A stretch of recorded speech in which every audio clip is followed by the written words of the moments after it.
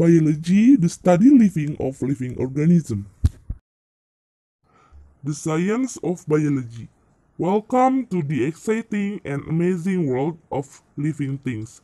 Go outside and look around you.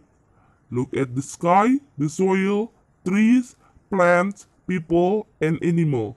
Nature is all around you. If you have the eyes to see it, count how many living things you can see.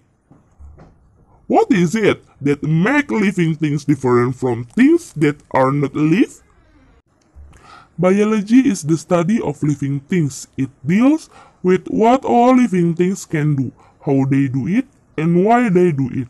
In biology, there is always a relationship between the structure of an organism, its function, and its adaptation to its function or environment.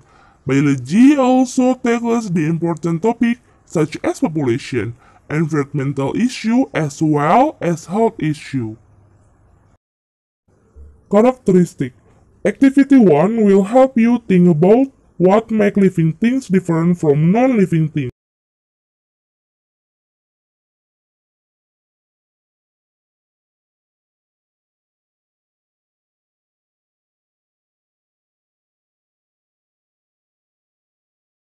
Nutrition Living things take in material from their surrounding that they use from grow or to provide energy. Nutrition is the process by which organisms obtain energy and raw material from nutrients such as protein, carbohydrate, and fat. Respiration Respiration is the release of energy from food substance in all living cell. Living things break down from food within their cell to release energy for carrying out the following process. Movement All living things move. It is very obvious that a leopard moves, but what about the thorn tree it sits in? Plants to move in for use different way. The movement may be so slow that it's very difficult to see. Excretion All living things excrete as a result of the many chemical reactions occurring in the cell. They have to get rid of waste products which make poison the cell. Excretion is defined as the removal of toxic material the waste product of metabolism and substance in excess from the body of organism. And then grow. Grow is seen in all living things. It involves using food to produce new cell. The permanent increase in cell number and size is called growth.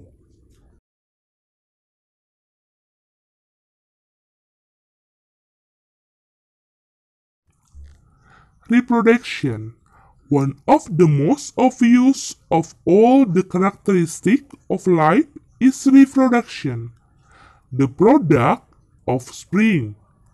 Reproduction is not essential for the survival of individual organism, but it is essential for continuation of organism species. Sensitivity all living things are able to sense and respond to stimuli around them such as light, temperature, water, gravity, and chemical substance. Adaptation Any inherited structure, behavior, or internal process that enable organism to respond environment factor and life to product offspring is called adaptation. Activity 2. Learn these seven characteristics of living organism. They form the basic of the study of biology.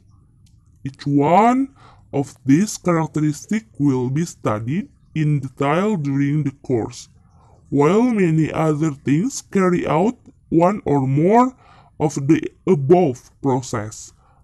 Only living organism possess all of the characteristics. This activity should take about 5 minutes.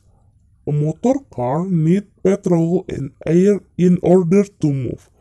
It produces waste gas. Okay. A. Which characteristics of living organisms are similar to those of a motor car? B. Why is a car not a living organism? Finally, activity 3. Let's go to the activity 3.